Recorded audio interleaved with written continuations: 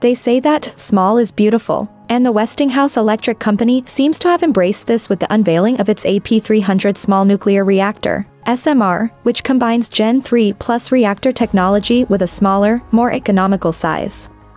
Small nuclear reactors have been gaining a lot of attention in recent years as an alternative to the giant conventional fission systems that are very slow and expensive to build, and they also attract a good deal of political opposition, which makes them hard to authorize and operate. The idea behind an SMR is that instead of building one big reactor to serve an entire region, a number of small reactors can be constructed, which can either scale up a power plant by adding more to one site or by dispersing them to meet local needs. Such reactors not only introduce an element of flexibility, but also make them cheaper by being able to mass produce them in a factory. Construction costs are lowered by reducing much of the civil engineering conventional reactors require, and the heavy concrete containment vessel can be eliminated by installing the reactor underground.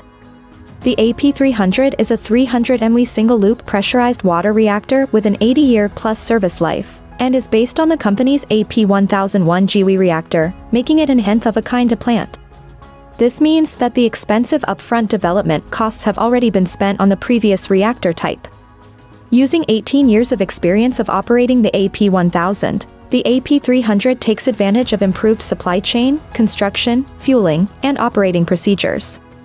The technology is also already approved in the United States, Britain, and China, and complies with European utility requirements standards, which will speed up licensing in some areas.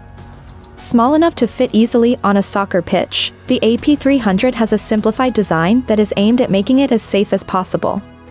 There are fewer pipes, valves, motors and other points of potential failure, and in the event of an emergency, the shutdown and cooling systems are passive, relying on gravity, natural circulation, and gas pressure rather than diesel engines and pumps.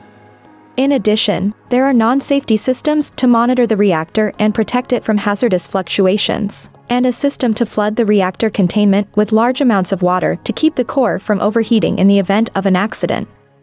The AP300 is intended for both electricity generating and other applications, such as heating, and servicing oil and gas production and industrial sites.